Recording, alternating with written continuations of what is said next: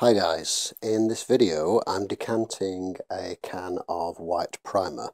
Um, if you've been watching the Tamiya Bimota Tesi build you'll notice that uh, I had problems with the remainder of the grey primer which I'd had sitting there for a while and I went to get some more primer and actually ended up with a can of white uh, hence the kind of white primer. Now you'll note also that I'm decanting this in a method that's different to my last video and the reason for this is uh, I'm decanting it in this manner to try something different out. Now the can is upside down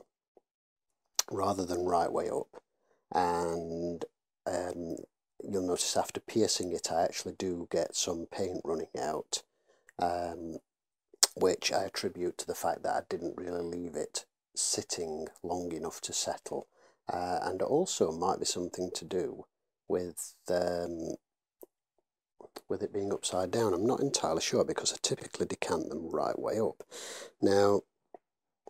the reason I'm doing this upside down is on my last video somebody commented with uh, a question saying why don't you do this upside down, put the hole in um, in the bottom, and then once it's degassed, open it with a can opener. And I thought that could be a very useful suggestion. uh, so that's the next time I do one, I'm going to try that and see how it goes. So having thoroughly degassed the can, I take my can opener, as you can see here, and begin to attack the uh, aerosol can um, with a side-on um, method which seems to give the best fit of the can opener. However, you can see very quickly that um, that while it actually seems to puncture under the bottom rim of the can, it's not actually driving itself around as it would with a can of soup or beans or, or whatever you would normally open with a tin can. And you can see here that, uh, that I'm working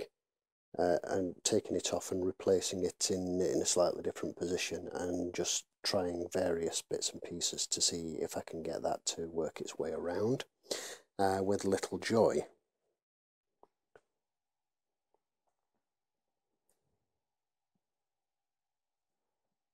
What I then do is try fitting it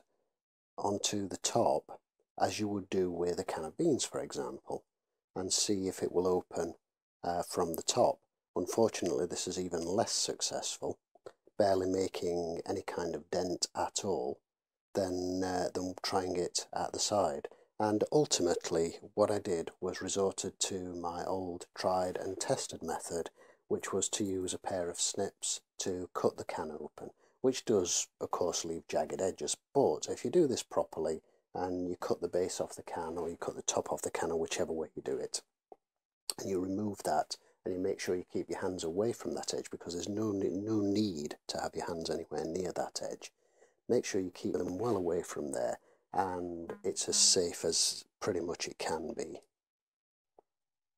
I just wanted to show this extra little piece which uh, is after I've used the snips to cut the base of the can despite having been left for a good while with the hole punctured in it and then having the top cut off completely to allow me to decant it into a jar or a bottle. Um, but you can see that's still bubbling away quite vigorously and this is the reason why after you've decanted it into your chosen jar you do not cap it tightly. This is why you have to leave the cap on loose and allow it to degas for a good few hours. And even then, uh, once you've capped it tightly, is maybe just loosen the cap off once a day and just uh, for for the next couple of days just to make sure it's gassed out completely. Um, when you're going to use it, give it a really good thorough shake in the jar or bottle, uh, having decanted the little marble that comes in the can as well to make sure it's thoroughly mixed and then open the cap slowly because it will still contain little bits of gas for a good while. So thank you for watching. I hope this video was useful.